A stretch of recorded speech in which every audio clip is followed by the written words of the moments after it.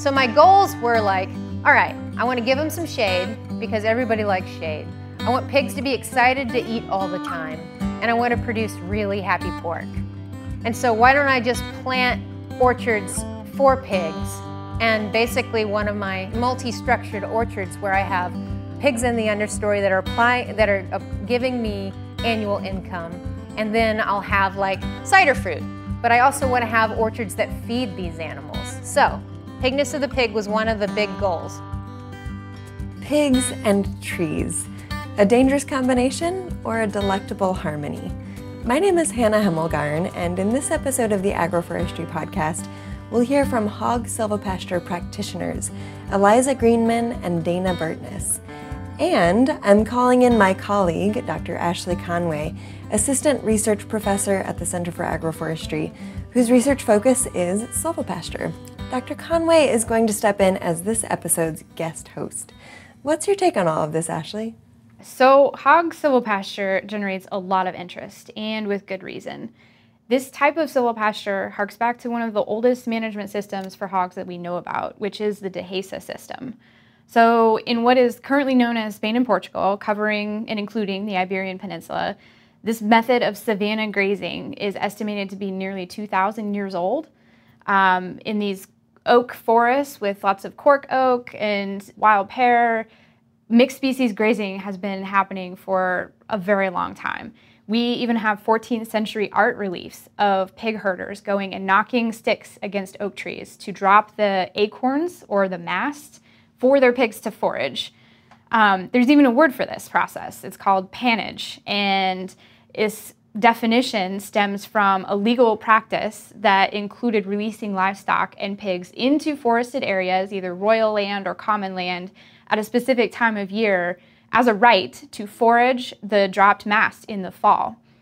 So, savanna management, to be clear, is not unique to Europe, but with European colonization, this practice, this pannage that was inspired by the Dehesa system, was imported to North America.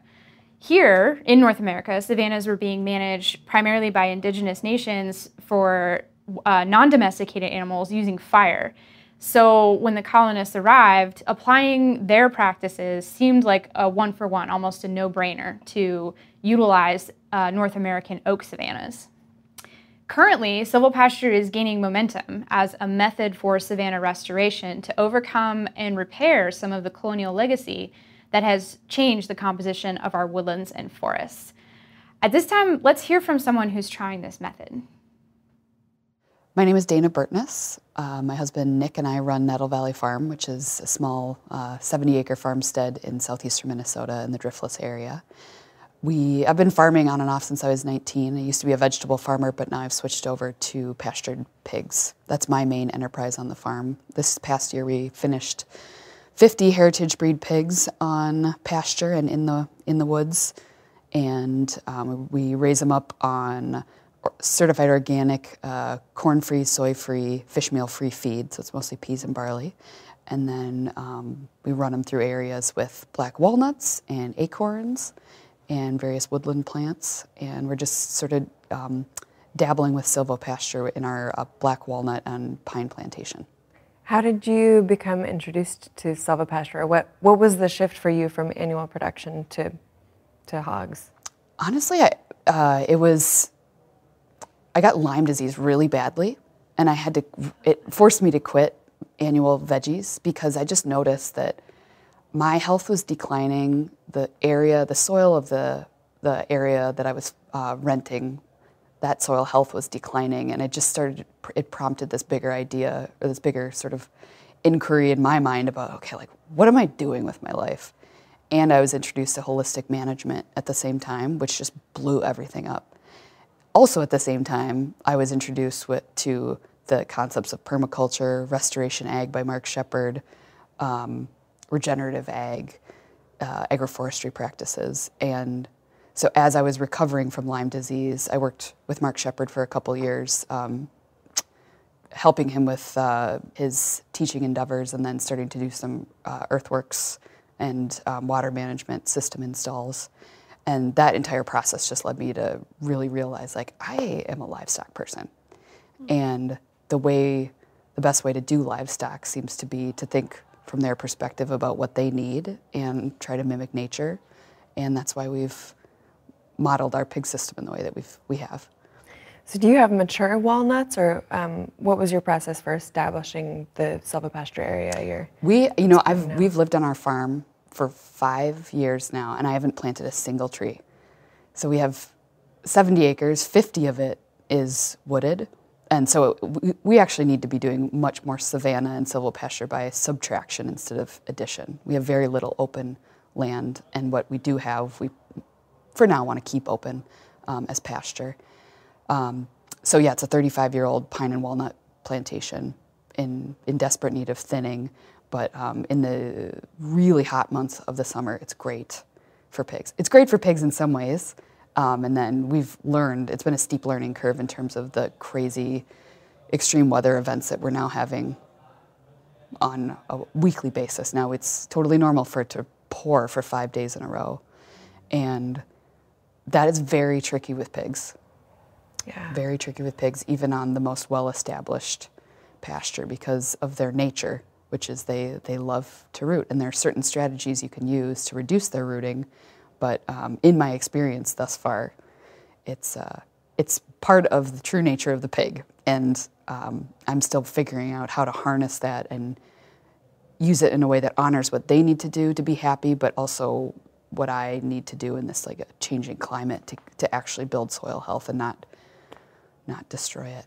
Yeah. So I imagine you're rotating on a pretty tight schedule. Yeah, um, we move the pigs at least once a week. However, in certain areas of the farm that were more recently just annual row crops, or say in the pine and walnut plantation where there's no sod layer in there because the trees are, have, haven't been thinned, um, no amount of rotation would keep them from rooting up. I mean, I'd, I'd literally probably have to move them every 20 minutes, and I'm not going to do that. So how are the trees faring in that? So far, so good. However, it's only been a few years, so we'll see. Um, and I am such a newbie at this stuff. I'm still in the middle of that learning curve about how to do true silvopasture as opposed to just pigs in a pine plantation. About how we can actually start getting more of the pasture layer and uh, uh, utilize the the gifts of the trees and then make it work for the pigs. Um, I am such I, since I am a pig farmer, that's naturally the the perspective that I see things from. So I think I'm willing to accept some damage to the trees if it's what benefits the pigs. But obviously, I'd like to work towards a system where all three are thriving. Yeah. But I'm not there yet, um, especially at scale. It's one thing when you have four pigs, but when you're finishing 50, and we'll probably we'll likely increase to you know 60 to 70 pigs next year. Um, that's a different ballgame. Because if you've got 60 to 70 pigs in an area, and it rains for five days in a row, um, and they're 300 pounds. How do you- big are the, of an area are the paddocks? It totally varies depending on the season and the size and the type of pasture they're on. But anywhere from a quarter of an acre to a, a whole acre. And we use all temporary electric netting. Um, but the it's so much harder to to nimbly rotate pigs in our system um, because of the you've got to schlep around so much stuff with pigs. It's not like with cattle where you barely have to give them water and mineral. It's tons of water, tons of feed, literal tons of feed. So even the act of getting into a pasture after it's rained to be able to move your feeder, that can be destructive to soil health. You know, after they've rooted it up. Yeah. So yeah, really interesting challenges. Um, so I'd like to, I would love to be able to join forces with um, pastured pig farmers who are doing things on scale across the country. You know, folks who are finishing 50 or more um, pigs on pasture every year, just to start talking about, okay, let's look at these soil health principles. How do pastured pigs fit into that? How does that? How does silvopasture fit into that? These are big questions. So, this idea of utilizing livestock, particularly pigs, as a tool for savanna restoration, it's very exciting and it's full of potential as a practice and as this strategy for woodland management. Um, but Dayna brings up some of the challenges associated with keeping pigs in the woods, and I think this really speaks to the non prescriptive nature of silvopasture in general. what she really makes clear to me is that these practices are not a one for one. What has worked historically for 2,000 years in the Iberian Peninsula is not going to directly transfer with 100% success to a place with different climate, different weather patterns, different soil, different wildlife, etc. But to me, that doesn't mean we can't be inspired by our local conditions to adapt this system to something that will really work for our region and our area. Um, another practitioner, Eliza Greenman of Hogtree Farm, is doing exactly that. She's a fruit explorer, a horticultural historian, and a designer and implementer of agroforestry plans that integrate livestock and humans into tree crop systems and orchards.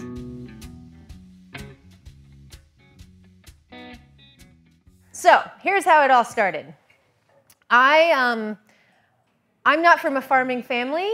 I don't have any inherited land. I don't have any uh, family at all living that are farmers. I am the only one, and it happened when I was uh, living on an island in Maine. I have a forestry degree, and a friend of mine asked if I knew how to prune any of the apple trees in Maine uh, on this island, and I said, No, I don't, uh, but I'll find somebody. And I found this wonderful man, Phil Norris, who's a apple tree, apple tree pruner, piano tuner. And he came out to the island because he knew he could, he could tune like 10 pianos while he was there.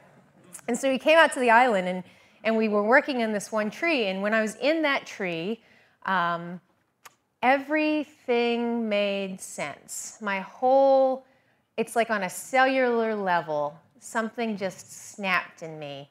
And it was like, this is what I need to do for the rest of my life.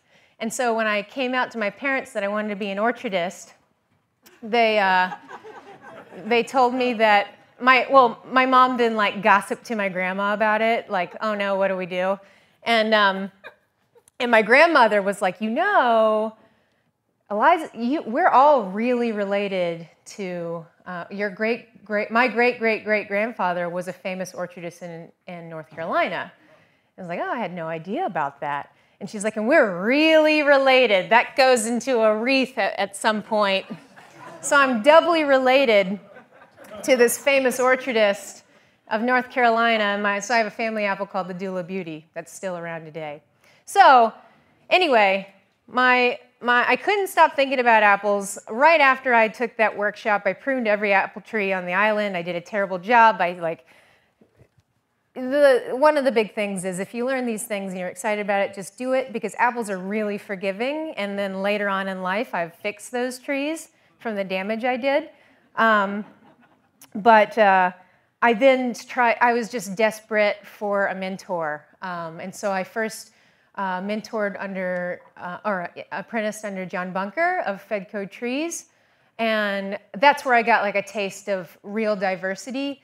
I think he, he runs a heirloom apple CSA, aside from Fedco Trees. He uh, runs an heirloom apple CSA that I think, I think we must have harvested 200 different varieties of apples that year, um, all throughout nor- orchards of Maine. And so I got a real sense of uh, you know, some of the diversity within just apples. And one of those, one of the orchards we harvest out of, harvested out of was uh, Francis Fenton of Sandy River Apples. And Francis Fenton was a third generation orchardist, a very long lived orchardist. He's 97, he was 97 in this picture, and that's when I moved into his house and started um, learning from him and helping kind of being the physical side of his of his orchard.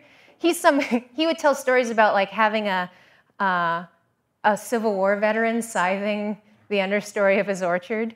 Um, and then he would talk about the uh, green revolution and how everything was so hard and then the green revolution happened and then everything became so easy and so i that's where i i got I had access with Francis to about 140 different varieties of apples, so I really started to get to know them intimately. But at the same time, I was so repelled by the management that I had to leave um, the country. Uh, so this is this is a bit of this is all about the genesis of, of where I'm going. All right. But at Francis's place, like I started to realize he had nothing in order. There was nothing in order in terms of bloom. There was nothing in order in terms of drop. So like with bloom, if you spray a lot, and he sprayed a lot, a lot, a lot. Like his spray schedule was like weekly. You spray every Monday, no matter what. And if it's going to rain, you spray before the rain. And so we, we sprayed a lot, and that meant I was in like a Tyvek suit, running behind the tractor, um, flailing a spray wand, um, and he couldn't hear me, and so he would go too fast. And anyway, it was it was a comedy of errors all the time. But uh, anyway, he, nothing was in order, and so I just sort of filed that away of like, when I have my own, when that day comes and I have my own orchard, I got to get some things in order because this is just too much. Um, and so that thus began the, the hunt for horticultural timing that I'll get into in a much nerdier way in just a moment. Uh, when you're an heirloom apple person, you have a lot of old books. One of the main books is the Of New York series. So, like in the early 1900s, all these um, horticulturalists started compiling all the fruit data, the fruit cultivars growing in New York at that time. Um, there are peach, the Peaches of New York book is seriously four inches thick. And today we have 20, I don't know, 30 varieties of peaches that are pretty, I mean, you mostly see like five in the in the catalogs today, but you do not you don't see four inches thick of peaches. And apples, oh there were in 1905 there were 17,000 apple varieties, and today we're looking at about 4,000. And so for me, in my hunt for low spray and no spray, genetics are a definite part of that. Like we have failed, you know, our forefathers have failed us in fruit growing by being by choosing the completely wrong things to breed for. One of which is being the crisp characteristic, which I'm going to bitch about for just a minute, because we're not eating Doritos. Apples don't need to be Doritos that you can hear somebody bite into from across the way. There's so many other better characteristics, but in trying to breed for like the snap, we're not breeding for the disease resistance, and they're soaking these things in everything. And so it's really important, to me anyway, to value the disease resistance of apples. And a lot of the heirlooms have that. A lot of the heirlooms, at least, I'm, I'm defaulting to apples right now because that's the language I, my first language. But uh, that's how, like, having all those genetics, saving all those genetics is how we get better genetics. There's a lot of um, there's a lot of built-in disease resistance, um, or at least disease tolerance in the older stuff. And so with a quickly dwindling population of apples, uh, I had to do something. Um, so this is just one of the many. You know, I read about this old famous apple tree and all of its accolades, and I actually figure, I'm a fruit explorer, I'm super nerdy about it, and I figure it out, and I go there, and this literally had been pushed over two weeks before I got there. Um, and I, I angrily um, and sort of manically uh, knocked on the door of the farmer there, and he was, push, he was pushing out 40 acres of orchard a, a year um, with a bulldozer because he had had it. He was done with growing fruits. And so that's, that's where I was like, we got to save it. How do I save this biodiversity? You got to give it a purpose. Um, and so a lot of biodiversity, a lot of, at least in the apple world, a lot of biodiversity has been saved through hard cider, thank goodness. Like the seedling revolution is upon us in, in many ways, where all of a sudden there's more uses for this fruit than just uh, to bite into it and hear it from across the room. And so I started to think, like, how could I how could I preserve it? And really, I came to the, con- the conclusion that the way I'm going to have, have to save it is through animals. But that was a long, I'll take you, we're going on that journey. All right, so I decided on animals. Um, I, in Kyrgyzstan, all these wild fruit forests have animals in the understory, and I quickly came to understand that it's a symbiosis. Like fertilization, de- de- deposition, um, feedstuffs falling from the sky, uh, certain insect tolerances, and, and anyway, it's all very integrated, and that's what I needed to do. So basically, uh, I went over to Kyrgyzstan, and they had these walnut and apple forests. The cattle are, are brought in, cattle and sheep are brought in before the nut harvest. Nuts are like their primary, um, kind of their primary crop. And so, anyway, they bring the cattle in to reduce the grass layer of uh, underneath the nuts so they can see it. And then when the cattle are like browsing on the grass, grazing the grass and getting it to getting it lower, they're also eating pieces of the black walnut leaves that have fallen, premature fruit that have fallen, you know, branches that have fallen. These cattle are going after that too, which is a natural dewormer. Um, meanwhile, the apples that are growing with the walnuts, uh, walnuts have a have a chemical called juglone, which is a very volatile chemical, and so it puts off a smell that is a natural insecticide. And so a lot of the insects kind of steer clear, like a lot of the apple pests steer clear of these um, fruits because of the proximity of walnut. And if there is an insect, then that fruit drops. The cows come in, they eat it, and they disrupt life cycles. And, and so, like that, yeah, that insect can't come back up and live in the tree again. And so then there's harvesting, and it's all like one great cycle. So you get organic beef out of this, you get parasite free, you know, you, it's eating, it's gaining weight through underneath the orchard. You get a clear harvest path for the, your walnuts, and also you get pretty disease resistant apples. Um, and so when I saw that, I was like, ah, I got to do this. But I have no experience with, with cows. And so, but I do have experience with pigs. Um, November 20th, I celebrated my pet pig's 21st birthday. Um, she won't die. And uh, I got her when I was in eighth grade. And so I know how to do pigs fairly well at this point. At least I know how to keep them alive for two decades. All right, so I decided that I needed to integrate pigs with the orchards that I had, or the orchards that I was leasing. So my goals were like, all right, I want to give them some shade because everybody likes shade. I want pigs to be excited to eat all the time, and I want to produce really happy pork. So I had this whole new methodology. I was in an orchard, I put pigs in it. They were doing great things. They drastically lowered my plum curculio rates, which is a weevil. They were helping me with codling moth. They were fertilizing at certain times, which I couldn't figure out was good or bad at the time. And then they um, were keeping the grass down. So it was great. And I was like, okay, this is the way to go. I'm going to have fruits, I'm going to have pigs. And so why don't I just plant orchards for pigs? And basically, one of my you know multi tier, multi-structured orchards where I have uh, pigs in the understory that are applying that are uh, giving me annual income and then I'll have like cider fruit. Um, but I also want to have orchards that feed these animals. So, Pigness of the Pig was one of the big goals.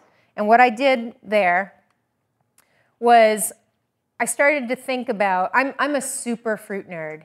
And so I'm a member of uh, the North American Fruit Explorers, NAFEX, which, if any of you want to get into this sort of nerdery, you should join NAFEX.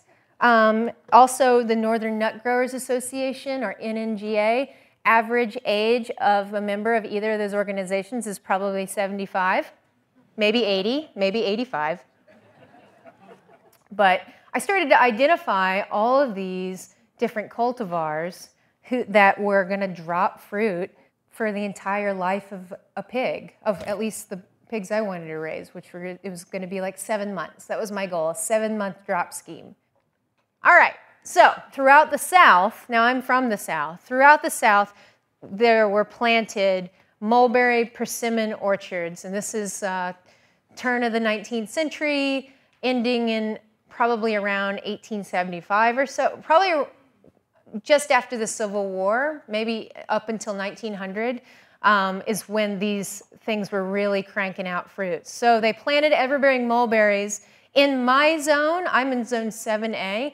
In my zone in everbearing, uh, the Hicks will drop from uh, basically June 1st until uh, August 1st. And the older the tree gets, the more it drops. It's prolific. That's what it's known for. It's prolific amount of fruit.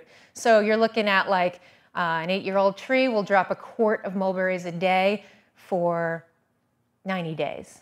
Um, and so that's not to balk at. And so for just thinking about in the past, like this is how they fed a lot of their animals. I mean, they they'd also bring in corn, but this was a huge part of this, the feed bill. Supplementing the feed bill was keeping them in these orchards. And so, yeah, you have tons of mulberries dropping every day, and they were originally planted at 40 by 40 spacings, by the way. Um, but that's not necessary. You could totally get way closer than that these days. Um, and mulberries are heavy feeders, so things, um, pigs actually have quite a bit of nitrogen um, both in their poo and in their pee. And I think it actually totals more than chickens. It's just that chickens get, it's all mixed together. And so you get one value, one, one value for, for nitrogen. But with pigs, if you measured their urine and then you measured their, their poo, um, it's actually a little bit higher. But anyway, having them under the trees and for mulberries is very good, and it's very circular in that way. You will get more, the more uh, nutrients and heat actually a mulberry has, uh, the longer it will produce. And so for me, like in talking about climate adaptation strategies, mulberries are where it's at. Um, and I'll go a little bit further. I love mulberries. Um, but if you want to talk about climate warming up and having a drought and, you know, needing, needing fruit and needing leaf uh, fodder as well, that's where to go. All right, but here's the other thing about, about mulberries is that it is the oldest cultivated crop in America in, in the world. Oh, oldest cultivated like agroforestry crop in the world. Um, silk industry is why. Silkworms feed primarily off of mulberries in, in order to produce high quality silk. They, they fed off of them in the wild and they noticed this like six or 7,000 years ago. And so then began the cultivation of the mulberry and for leaf fodder. And so silkworms are monogastrics. They're a high, they have a high nutrient need and a high protein need. And so, uh, so do our livestock. And it turns out mulberry leaves are one of the most digestible, highest mineralizing, highest protein fodders we have. It goes toe to toe. It has a higher digestibility than alfalfa. It's got it goes toe to toe in, in uh, protein amounts of alfalfa. Only it's perennial. In this, and, well, it's perennial. It's a hardy perennial that is drought tolerant. So in the middle of summer, when a lot of your grass is dying, uh, you can easily just start cutting mulberry leaves. So that's a big part of what I'm doing these days is messing around with and learning um, what we can tolerate, what the mulberries can tolerate in my climate in terms of harvest, because I want to get as many leaves off of them as I can. Um, I've continued on in my quest to plant orchards for livestock. And uh, oaks were next, are next on the list. I've created a, a scheme for oaks. I'm looking for oaks that drop basically 20 bushel, 20 to 30 bushels of acorns a year and more regularly. And so that's a genetic thing too. And there's also like frost times and things like that. So what I'm I've been going deep into uh, you know talking with like presidents of international oak societies for different countries and all sorts of stuff, and um, and I've got lists and a list of oaks that work. And I'm also very interested in um, the idea of a columnar oak.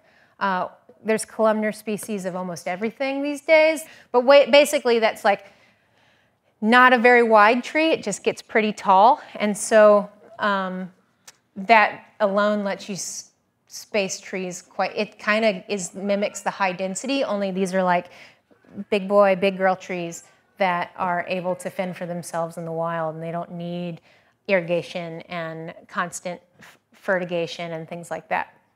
And so um, I'm, comp- I'm compiling uh, a whole database of oaks that of oak specific oak cultivars, and that's what I'm talking about here, like specific apple cultivars, specific because this in, that right now this information exists, and hopefully, if this sort of system takes off, every new one found in the wild will be cataloged away to for that information. Seedling orchards will get started to.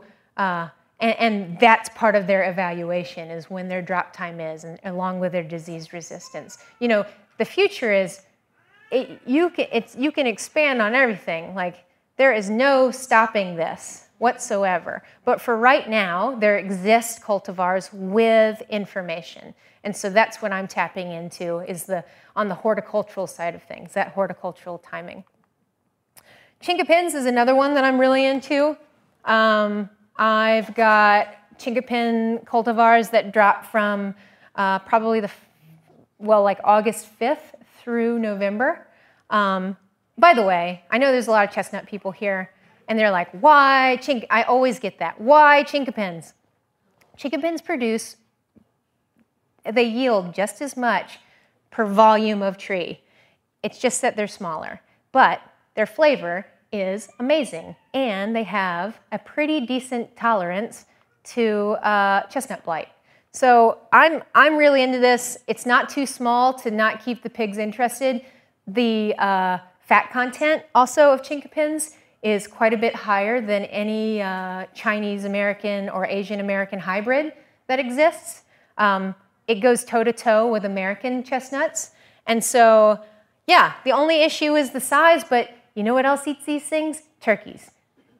Right around the time when you're trying to fatten up turkeys for Thanksgiving, these things start dropping, and there's almost nothing more delicious in my mind than a chinkapin fed turkey. But poultry will eat them, pigs will eat them, everything eats them. They're delicious. I eat them. Black walnuts is another one that, that I'm working on. Um, black walnuts are uh, one of the fewer studied species that we native species that we have. Um, the the oak, walnut forest in like Kyrgyzstan is Carpathian or English walnut, or what became English walnut after it traveled there. Um, and so uh, I've been interested in black walnut mostly because so there's this idea of terroir, that like sense of that soil being transposed into your products, basically. I think that I can best achieve that with black walnut because uh, black walnut is the oils in the nut oils are, are fat soluble. So all of a sudden, this black walnut is going straight to the pig fat. And also, the, they're very volatile. The juglones put out that volatile, like, I don't know if you've eaten many black walnuts, but they're like a tropical bouquet, sort of. And um, so I think this is the best chance at, at, totally changing the flavor of pork. We talk, you, you hear Iberico for acorns, um, but acorns have no volatility. Like you get that, you know, you can get the flavor. You could tell it's a changed flavor, like because it's not grain or it is half grain, half whatever. But um, to me, like black walnuts are probably where it's at, and there is so much really to be to be found. And a lot of it is the work of people 100 years ago who started putting these known cultivars in the landscape. And they're just hybridizing with wild and creating amazing stuff. And so we overlook them or we think about them as you know being nuisances. But really there's a good chance especially like emanating from these quaker towns or from like TVA plantings or like do your historical research on who was the most badass horticulturalist in your area and, and what they were excited about and start looking in radius ring in you know radius rings around where they lived. Uh, so hickories are also one of those things. So they readily hybridize with pecans. So like in my area where they planted northern pecans, it's not their native range of northern pecan, but but people planted them there and then they started hybridizing with the local hickories. And so I've got loads of trees that are half that are you know showing uh, you know phenotypic ratios of pretty good nut, pretty good pecan, and pretty good hickory. And so the the idea there is to have better nut meats, to have thinner shells. Um, you know, basically for us, but as well for me, I'm looking at it for the livestock. I want them to have thinner shells just so they don't have to struggle as much. but they will eat thick shelled everything because um, they know the stuff is delicious. All right, so I wanted to figure out, first of all, like paddock size. Paddock size is orchard size. So I've got like, you know, all those lists of cultivars and I've got all their drop dates and I've got all these attributes about them. But they'd only make sense, for me anyway, if I am able to match the carrying capacity, essentially. So like, we've got the grass as the care, you know, grass is one thing for our livestock for them to eat. But uh, also I've got this tree layer. And so estimating yields of trees dropping. So just trying to figure out pounds per pig per square feet per day, the grow rate and how, um, how long I could keep animals. Basically just trying to figure out like one pig would take how many days, you know, how many days per how many pounds to move. So a 40 pound pig for me after that, after this experiment yield needed about 1.2 square feet per pound. And so that means 48 square feet per pig per day. And that's literally how I have laid out my orchard paddocks is um, how much land do I have? And I sort of reverse engineer that. Uh, and so that's is, this is what it is. I've done it by month, square feet per month per pig. Um, and that gave me total of 0.75 acres per pig per life cycle. And for that, I, uh, I have seven, I had seven and a half acres. And so that means I could have 10 pigs. And this is, by the way, with no grain supplementation, thinking about it in, in that way. And so what this is then is combining all that drop data that I've got into these paddock sizes, so the spacings these trees need, the yields, the yields they'll offer, all of that into these monthly paddock sizes. And so, you know, I'm creating flow through the landscape with these orchards. And that's not just livestock, that works for people too. You know, this is like this is like the beginning of a very diversified you pick. Except for I just wait a little bit longer and have everything drop on the ground so I don't pick nobody picks anything but the pigs eat things. To be clear, there are risks associated with hog silvopasture. Pigs' natural behavior is rooting, and when we have a forage-based system, this really relies on their ability to dig for their meals. So this rooting behavior, particularly when it leads to excessive soil disturbance and erosion and even tree damage, this has been mitigated commercially by ringing pigs and putting a ring through their noses. This compromises their welfare and ultimately their ability to effectively feed, which then compromises the effectiveness of the whole system. So, how do we balance this? Ultimately, the key is judicious management that will mitigate that excessive soil disturbance. What this looks like could be hyper-frequent rotation or planting species that drop fruit and nuts at different times so that animals aren't in one place for an extended period of time or even planting disturbance resilient forage species to have greater ground cover that will tolerate that rooting behavior. So, should we keep pigs in trees? I think the answer is yes, but with care and careful management. So here we are. We want to be innovative and try new things, and there are likely going to be some mistakes and lots of learning along the way which is why we want to continue to hear from you about your lessons learned and important insights.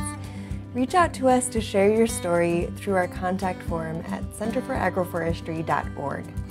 As a reminder, this podcast is made in the place we know now as Missouri, on the lands of the Osage, Otoe-Missouria, Iowa, Illini, Sac and Fox, Kickapoo, Peoria, and Sioux peoples. Our theme music is creative work of farmer Noah Earl, and Tim Pilcher produces the podcast. Thanks for listening, and as always, stay tuned by subscribing on any podcast app. Holding my tongue hasn't gone so well. I got truths to tell and I got spine. So I made a list of your worst mistakes, and I hope that you fall back in line.